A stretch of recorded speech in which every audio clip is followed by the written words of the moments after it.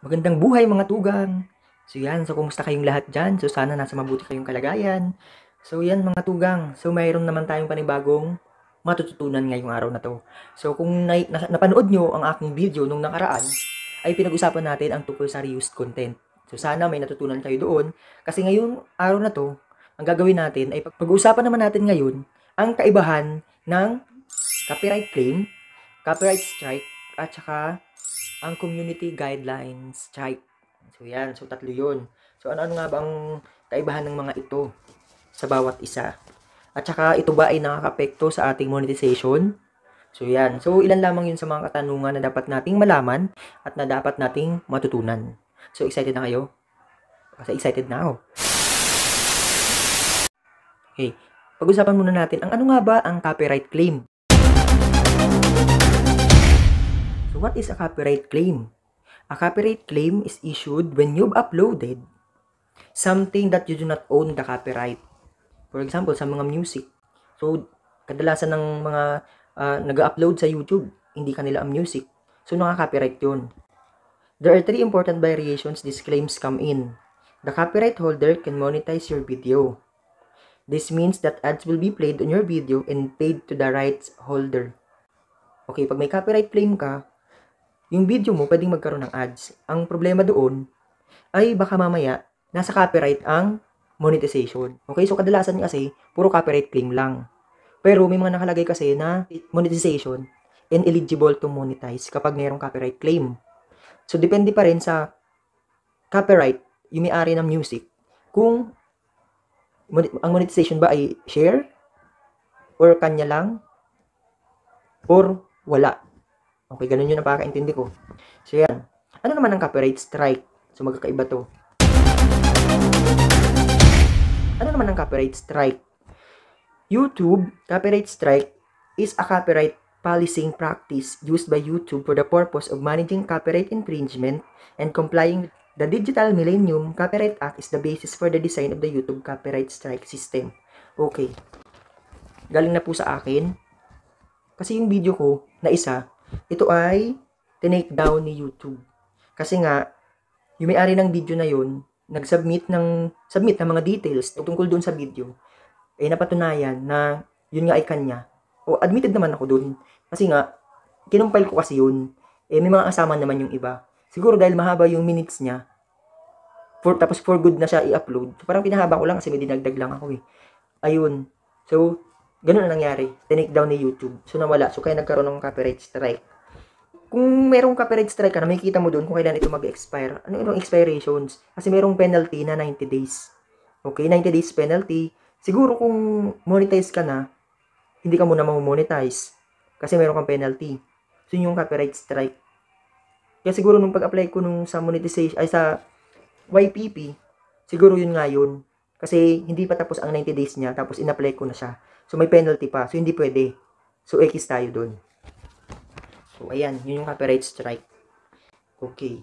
So, ano naman ang community guidelines? Okay. YouTube community guidelines. So, itong YouTube community guidelines, na-experience ko din. Kasi meron akong warning sa community guidelines. Hindi ko alam kung anong app yun. So, ganun. Inalis ulit ni YouTube yung sa inalis ulit ni YouTube yung sa yung yung video na yon. So nagkaroon ako ng warning. So yung warning na yon isang beses lang. Kasi nakalagay doon sa akin sa may YouTube studio ko na isa lang, warning na isa lang. Ngayon pag nakakuha ka pa ng isa pang eh, na again sa community guidelines, magiging strike na yon. So anong mangyayari? So ayan, so ilalagay ko diyan ang nangyari. Ayan, basahin niyo na lang. Your content was removed due to violation of our community guidelines. Because it's the first time your account isn't affected, you're only warned once and this warning will remain on your channel. So yung warning na yun, forever na yun. Forever na yun sa channel ko. Sa channel namin. Yan. Pero pag nangyari ito ulit, your channel will receive a community guideline strike. So may strike na. So you won't be able to do things like upload, post, or live stream for one week. So yun yung violations kapag meron ka ng strike. So actually, tandaan nyo lang na ang strike ay hanggang tatlong beses lang. Kasi pag na-copyright strike ka na tatlong beses, within the period ng penalty mo, about 90 days, tapos you commit 3 strikes within 90 days, so automatic, yung YouTube mo tatanggalin. Okay. So, ano naman ang paloob sa YouTube Community Guidelines? So, ito yung best practices for creators. Okay? So, para clear ang YouTube channel natin, so dapat nakasunod, nakasunod siya sa rules ng community guidelines. So, importance of context, creator influence on YouTube, best practices for content with children. Okay. So, yan.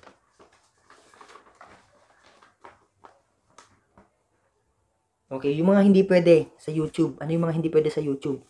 Spam and deceptive practices. So, sensitive content.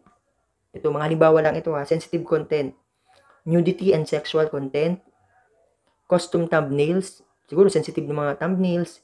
Child safety, self-harm. Okay. So, nakapaloob siguro yung ano ko doon. Dito sa susunod. Yung violent or dangerous content.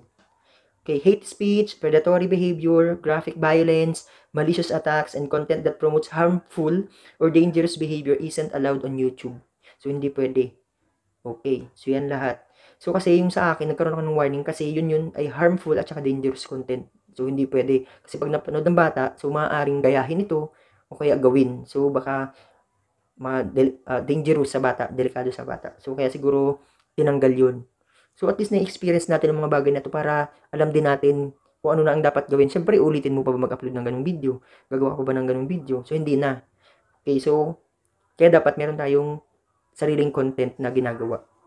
At saka alinsunod sa community guidelines at saka sa YouTube policies. Okay. So, hindi rin pwede ang content featuring firearms. So, depende na kung balita ang ginagawa mo. Pero kung hindi, wag mo na wag ka nang mag-upload, wag tayong mag-upload. Okay, okay. So yan. So yun ang pagkakaiba ng copyright claim, copyright strike, tsaka YouTube community guidelines. So dapat itong tatlo na to, alam natin itong tatlo na yan. May nagtanong dito, isa copyright claim a strike? Okay, kung ang copyright claim ba ay strike? Hindi. Okay? Copyright claims are not copyright strikes. So, copyright claim is just warning you that you have copywritten material in your content. So, kagaya ng mga music, doon tayo nagkakaroon ng copyright. Copyright claim. Okay? So, what happens if you get a copyright strike? So, yun na yung sinabi ko kanina, na pagka nagkaroon ka ng copyright strike, meron kang penalty na 90 days. Pwede ka maka-upload. Okay? Kaya lang, yun lang yung pagdating sa monetization nyo. Pagdating sa monetization natin, So, yun yung penalty. So, siguro, dapat tapusin mo na yun bago ka mag-reapply. Okay? So, yan. Okay? So, does copyright claim affect monetization? So, ang copyright claim ba ay nakaka-apekto sa ating pag-monetize pag nag-apply tayo sa monetization? You can receive a content ID claim if you have been using copyright protected material in your video. A copyright owner can decide to block, track, or monetize your video depending on the match policy applied. In many cases, content ID claim means you cannot monetize the video you have uploaded. So, sa kadalasan daw, pag may content ID claim ka, na hindi mo mamonetize ang iyong video. So, in other words, kung mayroon kang copyright na nakita mo na dyan may copyright ka, palitan mo yung music. So, meron, kaya nga meron tayong sa audio library, may mga music dyan na pwede nating palitan. So, meron akong mga copyright claim na music, pinalitan ko na lang. So, para clear ang clear ang ating YouTube channel. Kasi 'di ba sa YouTube Studio nakalagay yan restrictions. So dapat nakalagay lang diyan none. Kasi pag meron kang copyright claim, nakalagay din diyan copyright claim. Okay? Yan. Okay, kung meron ka namang copyright, copyright strike, ito ba imaalis ba? Okay. So there are three ways to resolve a copyright strike. Wait for it to expire. Yun yung sinabi ko sa inyo na 90 days na penalty. So hintayin na lang natin na matapos siya. Okay, copyright strike, expire after 90 days. So, trinay ko din na gumawa ng retraction. May mag, may mag-email sa'yo na ang, ang video mo ay tinake down. May nakalagay doon kung sinong tao, kung sino yung nag, ano, nag-request sa YouTube na alisin yung video mo. Meron doon, meron nakalagay doon. Siyempre, di ko nasasabihin. Okay. So, trinay ko retract. Paano mo i-retract? Kukontakin mo yung tao kasi may nakalagay naman na email address eh. Nakalagay doon, um, contact personally yung konta yung tao na nag uh, take down, nag-request ng take down ng video mo. So yun yun. So nakatry na ako tatlong beses pero di siya nagre-reply. Yun. So kaya nung tatlong beses na yun, di ko na inano, di ko na siya di na ako nag-message. Kasi nilagay ko sa message, sabi ko, ano, i-retract niya ang video. At gagawin ko na lang, i-delete ko na lang. So, para wala ang strike. So, wala namang reply, wala mang ganun. So, hindi ko na pinursue. So, okay lang naman. Kaya mo na. At least, ah, sa akin, lesson learned na next time, hindi ko na pwedeng gawin yun. Okay? So, yan. So, ano pa? So, yun na yung get retraction, get a retraction. You can contact the person who claimed your video and ask them to retract their claim of copyright infringement. Okay. So, yun yung isa na contact the person. So, pero hindi naman effective. Okay, meron namang isa na pwede mong gawin. Um, submit a counter notification. So, itong submit counter submit a counter notification, ito naman, parang papatunayan mo na sa'yo yung video. Eh, paano kung mapatunayan na sa akin ang video? Eh, siya ang nandun sa video. So, dun pa lang, false alarm na tayo. So, hindi talaga pwede. So, kaya hayaan mo na lang. Pero pag alam mong sa'yo yung video at nagkamali lang ng request, ng retraction, pwede kang mag-apila. Pero siguraduhin mong sigurado ka na sa'yo talaga yung video. Kasi may nabasa pa ako dun, parang may kukunin kang lawyer. So, yan. So, ano to, um, mahirap kung di mo mapatunayan na sa'yo talaga yung video. Okay? So, in short, gawa tayo ng sarili nating content. Gawa tayo ng sariling video. O kung mag-compile ka naman, dapat ibahin mo. Yung sinabi ko nung nakaraan sa aking uh, video na kailangan meron kang commentary, kaya narrative sa video mo. So, para hindi talaga yan uh, makaka-copyright strike. Okay? O kaya magiging reused content. So, tapos, meron kang pwedeng gawin, i-delete mo yung video mo, pero yung, yung strike niya, di pa rin maaalis. So, wait until expires.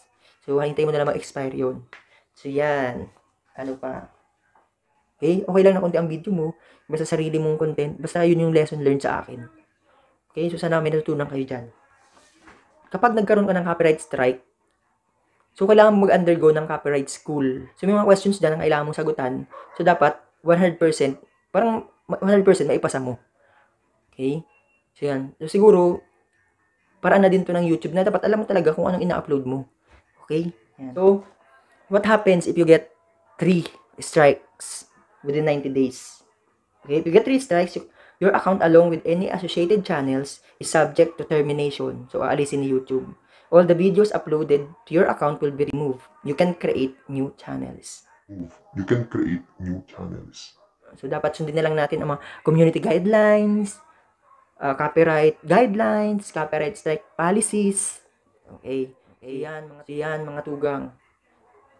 So, sana may natutunan kayo na ipaliwanag ko ng kahit papano. Hindi po ako eksperto tungkol sa mga copyright claim, copyright strike, at saka community guidelines. Ito lang po ay gusto kong i-share ng nalalaman ko at yung nabasa ko at saka yung experience ko. So, para naman sa ating ibang small YouTuber, para alam din natin kung anong mga hindi dapat at mga dapat gawin about YouTube. Okay? So yan mga tugang. So sana may natutunan kayo. At sana syempre, huwag mong kalimutang mag-subscribe sa aming YouTube channel, Teacher Dig. So yan. So, subscribe lang kayo dyan, like, and of course, click nyo na din ang notification bell para updated kayo sa aming videos. So yan mga tugang. So ingat kayo palagi. So nasa ano na tayo, Modified Enhanced Community Quarantine. So, ganun, gawin pa din natin mga protocols. Kung lalabas, sundin natin ang ating um, add or even scheme number. So, kung lalabas ka, kung add ka, labas ka. Pero dapat, kailangan mo din na kung may kailangan ka lang sa labas. Yung mga kailangan bilhin na essentials. Pero pag hindi, ay naku, wag na lang. Okay? So, steady lang tayo sa bahay natin. So, yan. So, maraming salamat sa inyo. Ingat kayo palagi. Bye-bye.